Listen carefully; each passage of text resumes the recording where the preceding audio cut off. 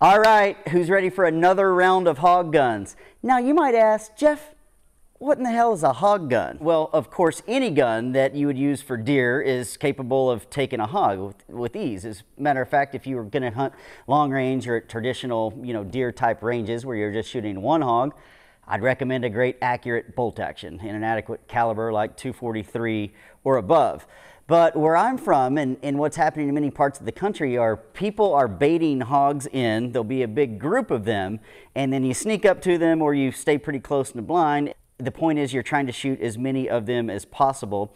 Now, a lot of times that's easier said than done because what happens if you shoot one shot, regardless of if your gun's suppressed or not, the hogs take off. But with the bolt action, a lot of times you can only get off one shot. With a semi-automatic or some type of repeater, a lot of times you can get off two, three, four shots and sometimes you, that might result in multiple hogs. It's difficult to do, but if you don't have some type of decent repeater, you don't even have a chance. So my criteria of the perfect hog gun is as follows.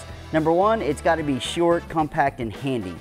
A lot of times I ride around a truck, I'm not even really hunting hogs, but I always have to expect to see one where I'm from, and so it's gotta be handy. I've gotta be able to move, get it out of the truck, a lot of times I hunt tree stands, a lot of times I hunt ground blinds. I just like a handy gun. Also, when I'm tracking or following up hogs, a lot of times they go and they hang out in the thickest stuff. I just like a short, handy, compact gun. Number two, it needs to be some type of repeater. I really love semi-automatics. They're even faster than pumps or lever actions, but any type of repeating gun to me is required of a bona fide hog gun.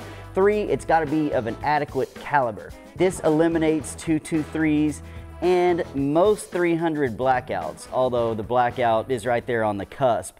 One of my favorite all-time rifles by the man, Mr. John M. Browning himself. Browning has been making this for years and years and years and decades, the Browning BAR is just legendary. And for decades, Browning converted this system, a gas action semi-automatic rifle system, into the sporting world in its BAR rifles. Well, this one is a new version of the BAR rifle. This is called the BAR MK3 DBM for detachable magazine. I'm going hogging, I'm going hogging today, I'm going hogging. This is why this rifle stands out. A lot of the BARs only hold a, uh, several rounds. A lot of them are flush fitting. This one holds 10 rounds of 308. That's the only round it's chambered in, and I'm glad because I love a 308. It'll do anything, anywhere in North America. As a matter of fact, 308 with modern powders and loads really pushing right in there with the 30-06. There's virtually no difference on some of the loads except it's a short action, a beltless action. It is still one of the best rounds ever made. It works perfectly on hogs or deer or whatever else. This rifle is so cool for hogs for several reasons. One, it is light. I've got this full 3 to 10 Leupold on here and, and you know, so it adds a pound by itself, but this gun is just light. It is so handy, so pointable. It's accurate and it holds 10 rounds of the mighty 308. It just feels good too. The stock is kind of soft. Browning's really done a, a, good job on their stock material that's a little bit sticky. The gun's quiet, easy to handle, and it's easy to shoot fast.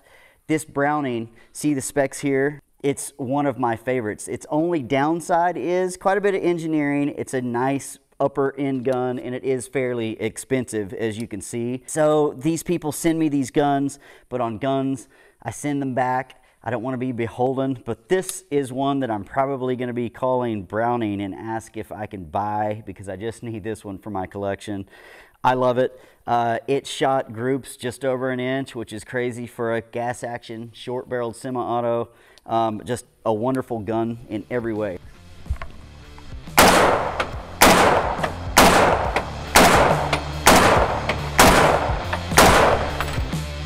I love this gun.